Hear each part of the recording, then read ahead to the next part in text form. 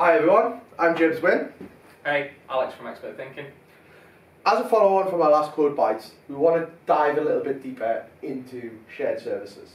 Okay. Okay, so the next last session we did was around hub and spoke. Okay, hub and spoke as a network topology. We briefly touched upon that. You know, you can extend beyond the network element of that and get additional value. That additional value we're talking about today is the shared services. So what type of shared services are we referring to, James? So the obvious ones, things like login, monitoring,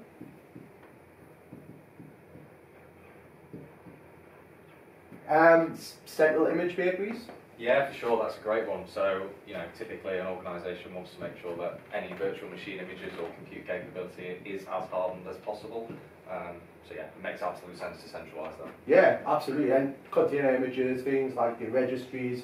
Um, you know, why host multiple registries when you can have a central point of governance? Absolutely. and fill that out.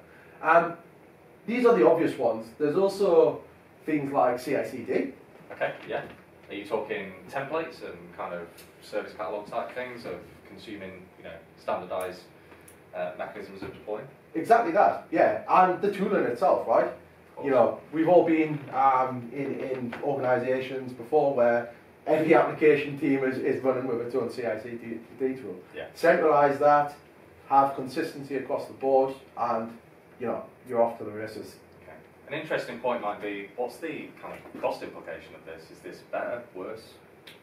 better because of that. Um, you know what we just discussed a second ago. You haven't got those teams kind of running with their own um, custom tooling. Yeah. Okay, so you centralise not only the the actual tooling itself, but also the management and the uh, the governance that goes around that, right? Yeah. Okay. So Um, so from a cost perspective, financially, it's less, but also risk. makes sense. Makes sense. And I guess it plays back to actually the original Codebytes video we did in terms of that platform capability and how teams consume this. Exactly that. Your team shouldn't have to care about this stuff. Yeah. Okay? You should just consume it, and the team should be focused on business, delivering business logic and value. Makes sense. Okay. Great. Great. Thanks. Thanks.